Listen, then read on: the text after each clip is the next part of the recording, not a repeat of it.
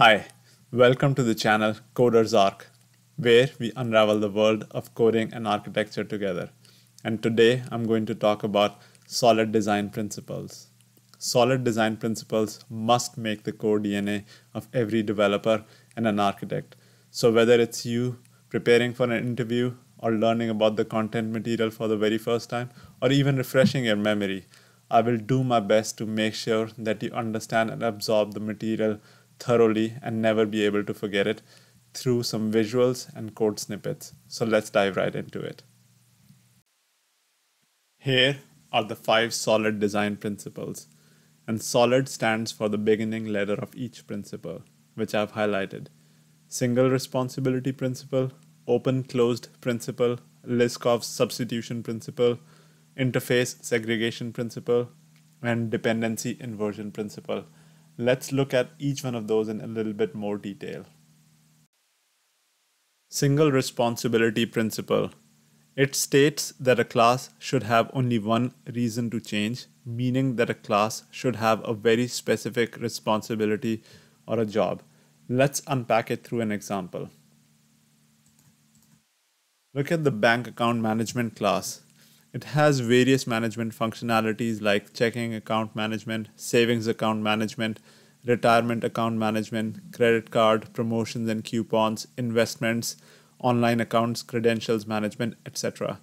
Now, if all of these functionalities were implemented inside one class, it would be a very big monolithic class that will have a lot of properties and methods. And anytime the functionality changes in one of these submodules, the entire banking management class would have to be changed. Now imagine if this class is used in several places in the code, that means wherever the code is using this class, the those classes will also have to change. So you can imagine the problem with this. We need to break it down into some meaningful chunks so that it becomes easier to maintain and reuse the code. So let's see how the single responsibility principle will break it down. The whole bank account management class is now broken into its own submodules. Like checking account management will be its own class, savings account management will be its own class, credit cards, promotions, coupons, investments, online accounts, retirement accounts, all of them will have their own individual classes because they're implementing of pieces of functionality that are closely related. So hopefully that clearly illustrates a single responsibility principle. The second principle is the open closed principle, which states that a class should be open for extension and closed for modification. Let's take a closer look at it through an example. In this example, we have a bank account management class which has the functionalities for withdraw, deposit, and check balance.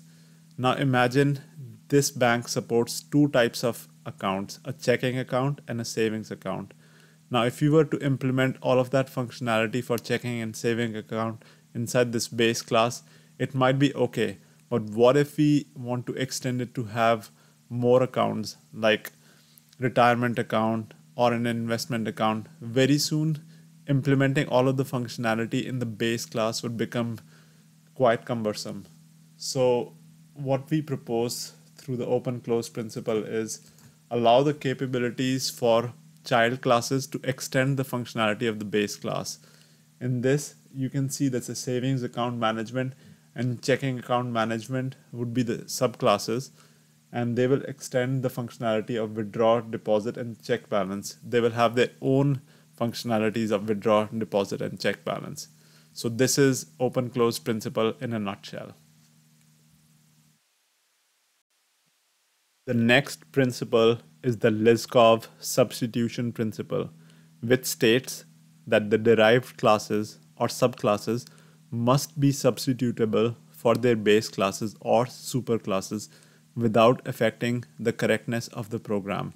Let's take a closer look at it through an example. In this example, let's take another look at the bank account management class, which has five methods withdraw, deposit, check balance, notification management, address management. Now the child classes savings account and checking account management only want to override the functionality for the withdraw and deposit methods from the base class. So in a language like C Sharp, there are certain keywords that help achieve the Liskov substitution principle, virtual and override. Virtual keyword in the base class indicates that its functionality can be overridden by a child class, and the override keyword inside the child class indicates that functionality is going to be overridden. Let's take a look at it through a code snippet. In this code snippet, I have highlighted the bank account in red to indicate the Liskov substitution principle, which states that the child classes must be substitutable by their base classes. So in this example, you can see I've created the instances of savings account and checking account using the base class keyword. And here I can perform the method withdraw on them, even though they are bank account instances, they are actually using the functionality of the savings and checking account withdraw methods, which are overridden. Hopefully that's this explains the Liskov substitution principle. The next principle is the interface segregation principle, which states make fine grained interfaces that are client specific. Clients should not be forced to implement interfaces they do not use. Let's take a closer look at the interface segregation principle through an example. In this example, there is an iWorker interface that has three method definitions eat, sleep, and do work. Now it is implemented by two different worker types robot and human. The robot does not eat or sleep but does the work. The human eats, sleeps, and does the work. So it makes sense for human to implement the iWorker methods, but it does not make sense for the robot to implement eat and sleep method from the iWorker interface. So, how does interface segregation principle come to the rescue? Now, we split the functionality of the original iWorker interface into three different interfaces iWorkable, iEatable, iSleepable, where each new interface only implements one method do work, eat, and sleep respectively. So now the robot class only implements the iWorkable interface, but the human class implements iWorkable, iEatable, and iSleepable. So that's how interface segregation works. One key thing to note here is that this example is very simple. In general, you don't want to break down interfaces or segregate them to only have one or two methods. You want to meaningfully break down the functionality where it makes sense so that closely related functionalities are in one interface.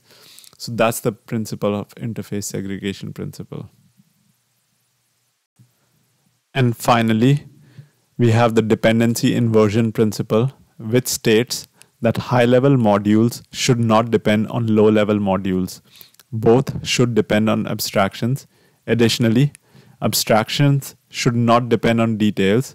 Instead, details should depend on abstractions. Let's unpack this through an example. In this example, let's take a closer look on the left hand side first. You can see an account manager class, which is a high level module class.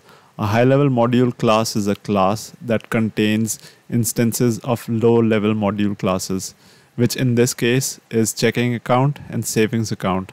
Now let's take a closer look on the right hand side. On the right hand side, you can see the public class account manager. It contains two private properties for savings account and checking account.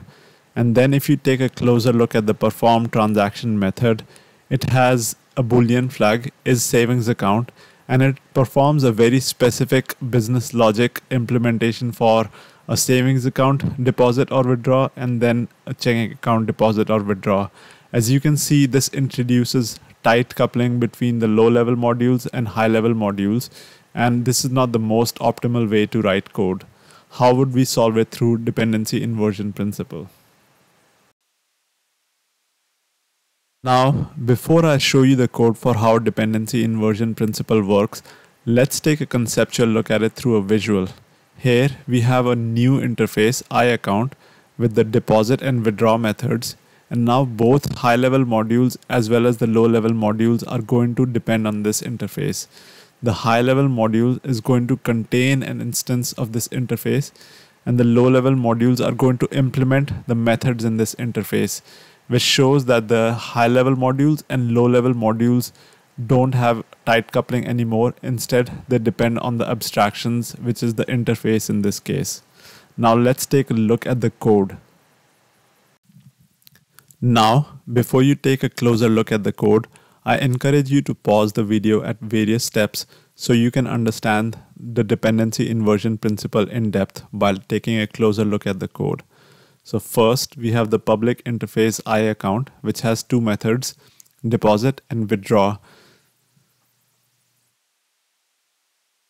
Then we have the lower level modules, savings account and checking account classes that implement the withdraw and deposit methods from the iAccount interface. Then we have the higher level module account manager.